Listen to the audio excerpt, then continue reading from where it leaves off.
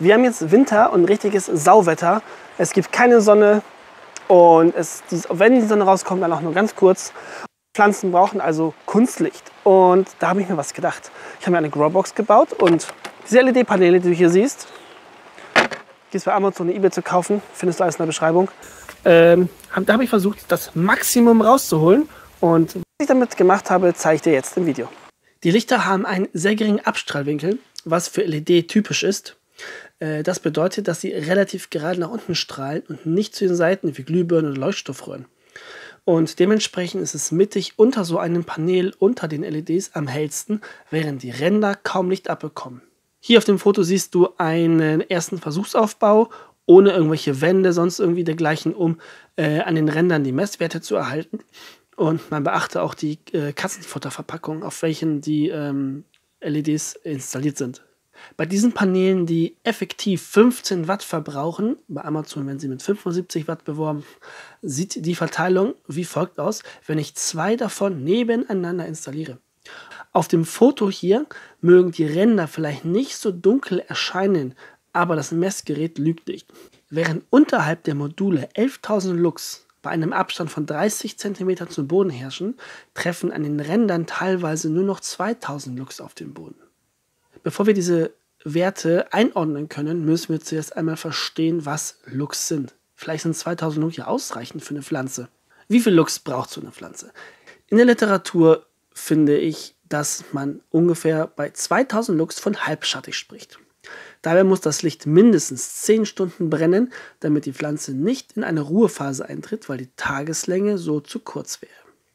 Fleischfressende Pflanzen hingegen sind nicht an einen Halbschatten gewöhnt, sondern brauchen in der Regel vollsonnige Standorte. Hier geht man dann von mindestens 3.000 bis 5.000 Lux für 10 Stunden aus. Das Optimum erreichst du zwischen 10.000 und 12.000 Lux. Bei besonders sonnenhungrigen Pflanzen wie Helianthora sollten es dann zwischen 15.000 und 18.000 Lux sein. Und wie schon gesagt, die 10 Stunden Sonnenschein sind ein Muss. 12 bis 14 Stunden sind wesentlich besser. Ich habe mir zum Testen aus Pappkarton eine 56 x 36 cm große Kiste gebaut und diese innen mit Aluminiumfolie ausgekleidet. Und ich konnte die Lichtintensität damit an den Rändern zwischen 167 und 225 Prozent steigern. Und somit konnte ich die Fläche, die eigentlich nur in der Mitte nutzbar war, verdreifachen. Während in der Mitte weiterhin 11.000 Lux herrschen, gibt es nur einen geringen Abfall zum Rand auf 6.500 bis 8000 Lux. Und diese Werte sind völlig ausreichend für die meisten unserer Pflanzen, für die meisten Sarazenien und Dionaea sowieso. Die Ausbeute könnte man noch weiter erhöhen, indem man stärkere Lichter wie die von Sansi oder Spider Farmer zum Beispiel verwendet. Diese sind qualitativ wirklich hervorragend und man kann mit ihnen noch größere Pflanzen, auch Helianthora, sehr gut kultivieren.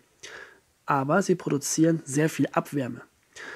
Man muss auch bedenken, dass ich nur in 30 cm Höhe gemessen habe. Viele Pflanzen wachsen bereits mehrere Zentimeter über dem Boden. Das heißt, der Abstand ist dann nicht mehr 30 cm, sondern noch 25 oder 20 cm. Und wenn man dann nur noch 20 cm Entfernung hat, ist die Intensität noch höher, aber auch die Hitze. Wie du ganz am Anfang gesehen hast, bevor ich die Wände installierte, konnte die Wärme einfach in den Raum entschwinden und ebenso die Luft und nun steckt beides in der Box und kann nicht raus. Meine Lösung? Ich habe einen 80 mm PC-Lüfter an der Seite befestigt, der im Moment durchgehend läuft, weil er an eine Batteriebox geschlossen, angeschlossen ist. Das manuelle Ein- und Ausschalten ist mir halt eben zu lästig. Man könnte die Batteriebox gegen ein 12 Volt Netzteil tauschen, aber ich wollte da jetzt keine 10 Euro für ausgeben. Wenn du wissen möchtest, wie man so einen Lüfter mit einem Netzteil ähm, ähm, verlötet und zusammenbaut, dann kannst du gerne in den Kommentaren das schreiben. Dann werde ich ein kurzes Video auch dazu machen, wie man so einen PC-Lüfter über ein handelsübliches 12-Volt-Netzteil anschließt. Wie hoch sind die Kosten? Das Ganze kostet eigentlich gar nicht so viel Geld. Wenn ich von 340 Wattstunden täglich ausgehe, das sind 10 Stunden am Tag mit den ähm, 15 Watt LEDs und der Lüfter braucht 4 Watt die Stunde, und die Pflanzen 120 Tage darunter stehen und das bei einem Strompreis von knapp 30 Cent, dann legen die variablen Kosten bei 12 Euro im Jahr für 0,2 Quadratmeter. Also pro Quadratmeter sind das dann 60 Euro. Natürlich könnte man das jetzt auch mit, mit einer Solaranlage und Batterien kombinieren, aber dann würde das nicht mehr so günstig werden. Mein nächster Schritt wäre dann, das Ganze robust aus USB-Platten zu bauen, wie du hier sehen kannst. Ein Quadratmeter USB-Platte, 12 mm, kostet ca. 5,29 Euro. Ich brauche 0,75 Quadratmeter plus den Verschnitt. Also lang legen wir bei wirklich einem Quadratmeter 5,29 Euro. Die Scharniere, ich habe in dem Fall keine Scharniere genutzt, sondern solche Haken, weil die Tür sonst zu schwer wäre. Äh, Haken, Winkel. Und die haben zusammen 3 Euro gekostet. Der Lüfter kostet 5 Euro. Man könnte auch einen 120 mm Lüfter nehmen, der ist wesentlich leiser. Und das entsprechende Netzteil würde 10 Euro kosten. Und die ähm, LED-Paneele, die kosten 60 Euro. Bei dem Netzteil und dem Lüfter müsste man ein wenig basteln und die Kabel verlöten, beziehungsweise es reicht ein Ineinanderdrehen und abkleben bzw. mit Schrumpfschlauch darüber zu gehen.